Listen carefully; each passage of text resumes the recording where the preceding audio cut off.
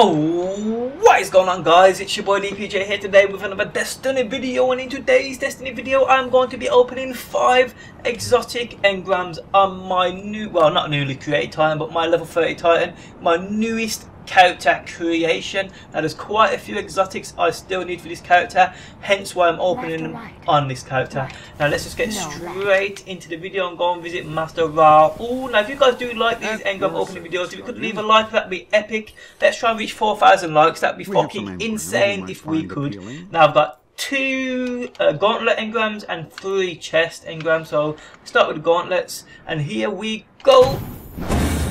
Sunbreakers, are you kidding me? What the fuck? Oh wow! This game hates me. Yes, I got the Armamentarium. This is the one I wanted. I wanted it so bad. The Crest of Alpha which of, oh, is that the one for the Hunter? Either way, I've got it. Um, and we get the Lucky Raspberry for the Hunter as well. Damn my luck! I mean, come on now. Let's have another look at them.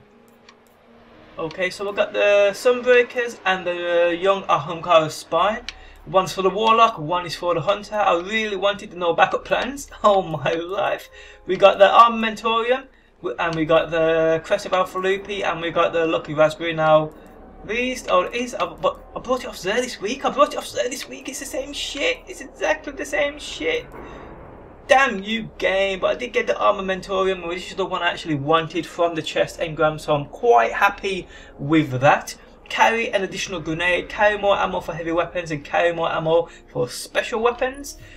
Badass piece of armor right here that's going to take quite some leveling up uh, to get it where I want it where I can actually use it. Uh, but yeah you can see the rest of my uh, exotics as well. Got a, an insurmountable Skullfort. My problem is at the minute now, it's um, it's the what are they called now? What are they called now? It is the plasteel platings. I just can't get enough of them. I mean, I just can't get enough of them. I'm just gonna have to go grind some green engrams and decrypt them. Hopefully, their armors.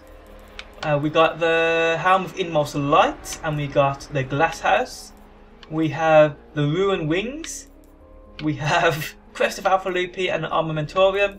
And we have the Mark 44 Stand Asides. Now I'm not sure what exotics I'm missing besides the no backup plans. I can't really think of the Titan exotics off the top of my head. So if you guys know of any I'm missing, please let me know down below in that comment section.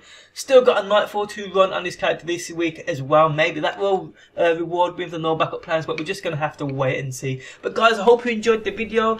If you guys want to see more live engram and postmaster package openings, do drop a like and do appreciate the support. Thanks for stopping by though, and peace out until next time. Peace! Attention.